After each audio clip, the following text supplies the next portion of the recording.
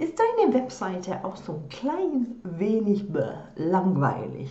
Dann ist dieses Video genau richtig für dich, denn ich zeige dir, wie du mit drei einfachen Animationseffekten das Aussehen und das Feeling deiner Webseite komplett verändern kannst.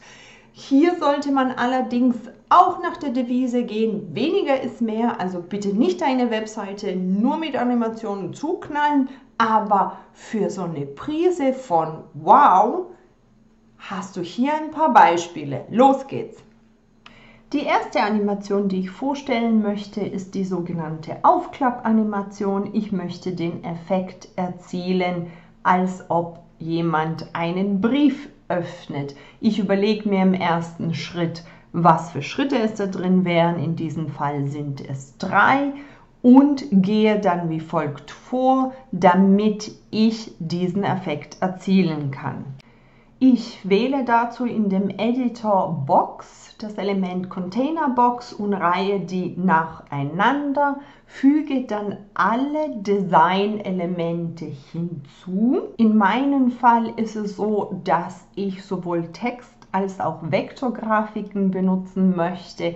Hier ist es wichtig, dass diese Texte an die Box verbunden werden. In der Theorie klappt das gleiche Prinzip auch mit Streifen. Im ersten Schritt bearbeiten wir die oberste Containerbox. Dafür klickst du auf Animationen. Ich persönlich bevorzuge hier die Funktion einblenden. Du kannst in den Animationseinstellungen auch noch die Dauer dieser Einblendeaktion wählen. Wenn du sagst, ich möchte, dass es schneller passiert, dann korrigierst du den Punkt und dann gehst du zu der zweiten Containerbox. Wie hier ist es wichtig, dass du die Funktion Einklappen nimmst. Wie du siehst, ist der Standard allerdings zum Einklappen von links nach rechts gegeben. Das heißt, der Standard ist meistens so und das ist nicht das, was wir wollen, es sei denn, du willst einen horizontalen Effekt erzielen. Dafür wählst du hier Einklappen von oben, wie lange es zum Einklappen dauern sollte und eine Verzögerung. Die Verzögerung bezieht sich auf das erste Laden der Seite.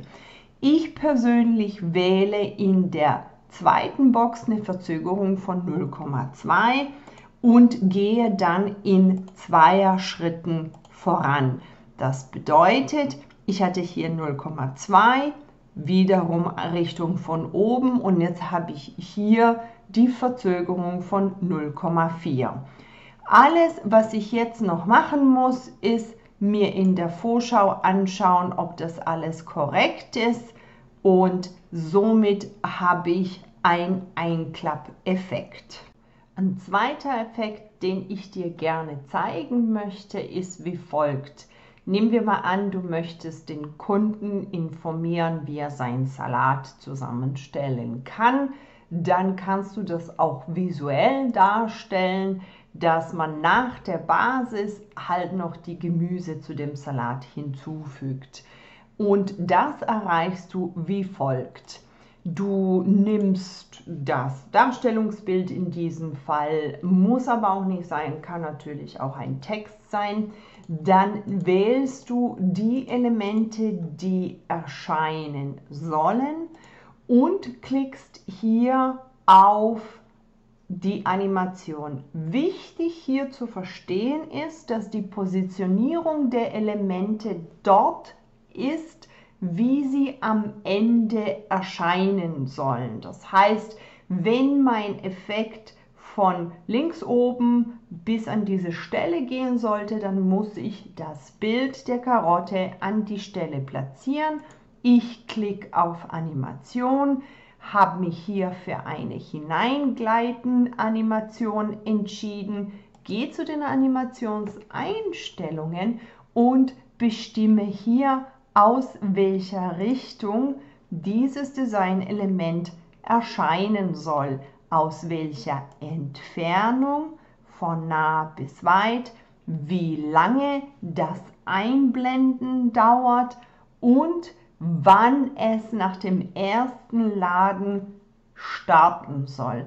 Und genau so gehe ich mit all den anderen Designelementen vor und habe am Ende ein solches Ergebnis. Noch ein cooler Effekt, wenn man nicht auf Apps äh, zurückgreifen möchte, ist dieses Vorher-Nachher. In diesem Fall habe ich zwei Bilder. So hat es vorher ausgesehen. Das ist das Endergebnis und ich möchte das auch visuell darstellen. Und das ist es, wie es aussehen soll. Und zwar erreiche ich das, indem ich dieses Bild unbearbeitet auf der Seite lasse, das zweite Bild, also das Endergebnis, in der gleichen Größe. Optimal wäre jetzt natürlich auch der gleiche Fokus.